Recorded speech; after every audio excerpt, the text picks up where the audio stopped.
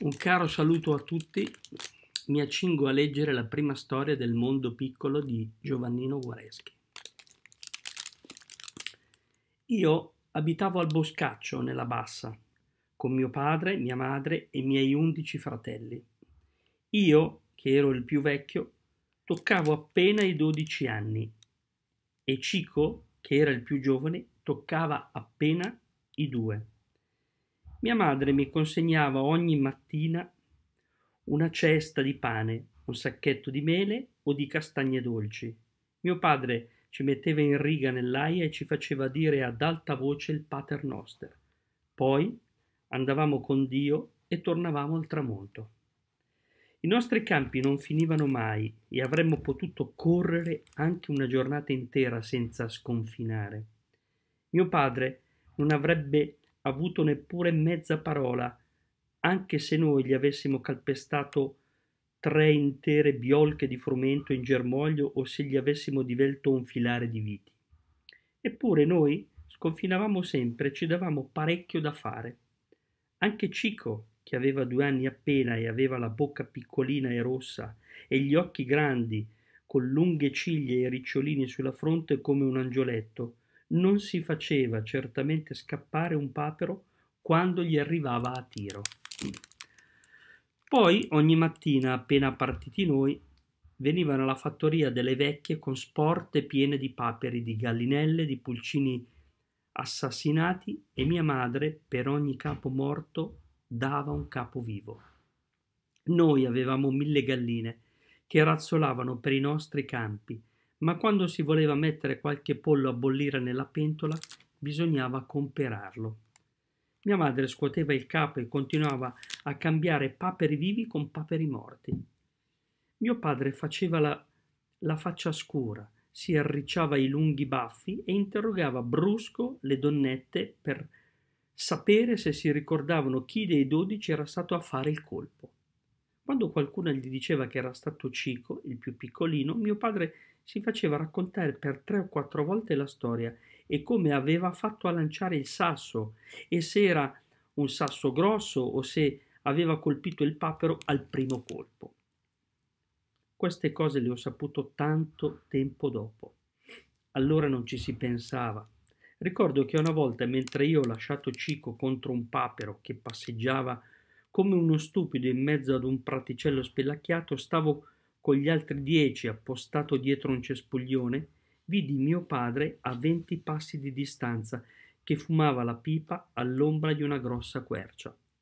Quando Cico ebbe spacciato il papero, mio padre se ne andò tranquillamente con le mani in tasca e io e i miei fratelli ringraziammo il buon Dio. Non si è accorto di niente, dissi io sottovoce ai ragazzi. Ma allora io non potevo capire che mio padre ci aveva pedinati per tutta la mattinata, nascondendosi come un ladro pur di riuscire a vedere come Cico ammazzava i paperi. Ma io sto uscendo dal seminato. Questo è il difetto di chi ha troppi ricordi. Io devo dirvi che il Boscaccio era un paese dove non moriva mai nessuno, per via di quell'aria straordinaria che vi si respirava. Al Boscaccio sembrava quindi impossibile che un bambino di due anni potesse ammalarsi. Invece Cico si ammalò sul serio. Una sera, mentre stavamo per tornare a casa, Cico si sdraiò improvvisamente per terra e cominciò a piangere. Poi smise di piangere e si addormentò. Non si volle svegliare, io lo presi in braccio. Cico scottava, sembrava pieno di fuoco. Allora noi tutti provammo una paura terribile. Il sole tramontava e il cielo era nero e rosso, le ombre lunghe. Abbandonammo Cico in mezzo all'erba e fuggimmo urlando e piangendo, come se qualcosa di terribile e di misterioso ci inseguisse. Cico dorme e scotta. Cico ha il fuoco dentro la testa. Singhiozzai. Io appena mi trovai davanti a mio padre.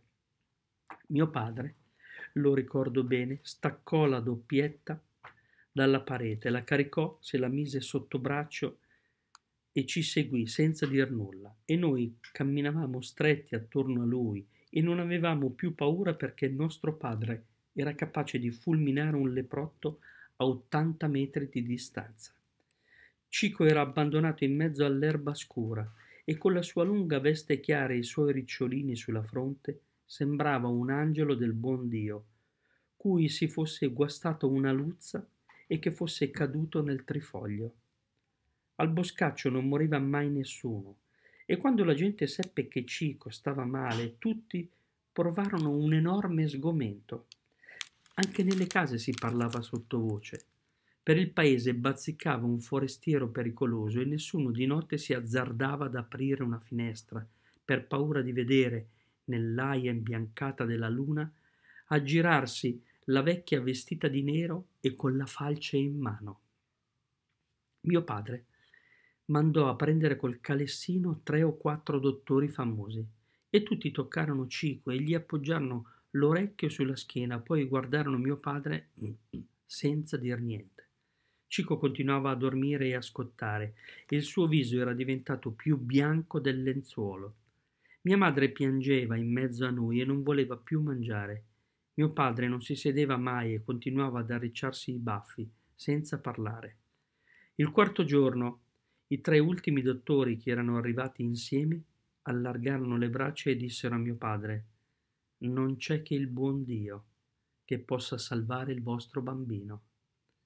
Ricordo che era mattina, mio padre fece un cenno con la testa e noi lo seguimmo nell'aia. Poi con un fischio chiamò i famigli, erano cinquanta, fra uomini, donne e bambini. Mio padre era alto, magro e potente, con lunghi baffi, un grande cappello, la giacca attillata e corta i calzoni stretti alla coscia e gli stivali alti. Da giovane mio padre era stato in America e vestiva all'americana. Faceva paura quando si piantava a gambe larghe davanti a qualcuno. Mio padre si piantò a gambe larghe davanti ai famigli e disse Soltanto il buon Dio può salvare Cico. In ginocchio, bisogna pregare il buon Dio di salvare Cico. Tutti ci inginocchiammo e incominciammo a pregare ad alta voce il buon Dio. Le donne dicevano a turno delle cose e noi e gli uomini rispondevamo Amen. Mio padre rimase a braccia conserte, fermo, come una statua davanti a noi fino alle sette di sera, e tutti pregavano perché avevano paura di mio padre e perché volevano bene a Cico. Alle sette di sera, mentre il sole cominciava a tramontare, venne una donna a chiamare mio padre. Lo seguì. I tre dottori erano seduti pallidi attorno al letto di Cico. Peggiora, disse il più anziano. Non arriverà domani mattina. Mio padre non disse nulla, ma sentì che la sua mano stringeva forte la mia. Uscimmo. Mio padre prese la doppietta, la caricò a palla, se la mise a tracolla, prese un grosso pacco, me lo consegnò. Andiamo, disse. Camminammo attraverso i campi. Il sole si era nascosto dietro l'ultima boscaglia. Scavalcammo il muretto di un giardino e bussammo a una porta. Il prete era solo in casa e stava mangiando al lume della lucerna. Mio padre entrò senza levarsi il cappello. Reverendo, disse mio padre, Chico sta male e soltanto il buon Dio può salvarlo. Oggi, per dodici ore, sessanta persone hanno pregato il buon Dio ma Cico peggiora e non arriverà domani mattina. Il prete guardava mio padre con gli occhi sbarrati. Reverendo, continuò mio padre, tu soltanto puoi parlare al buon Dio e fargli capire come stanno le cose.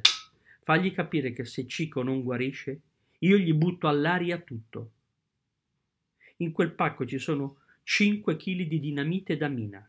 Non resterà più in piedi un mattone di tutta la chiesa. Andiamo.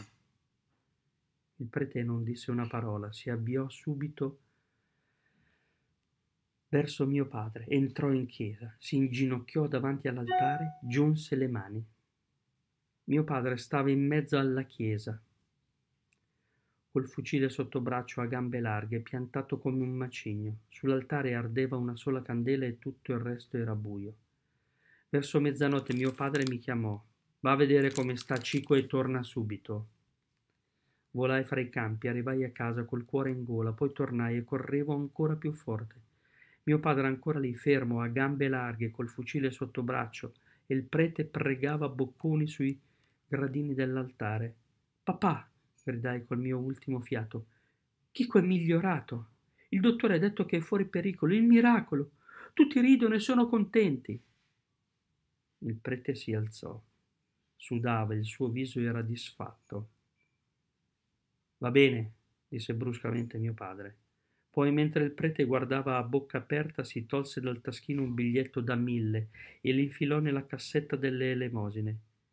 Io i piaceri li pago, disse mio padre. Buonasera. Mio papà non si vantò mai di questa faccenda, ma al boscaccio c'era ancora oggi qualche scomunicato il quale dice che quella volta Dio ebbe paura. Arrivederci al prossimo racconto.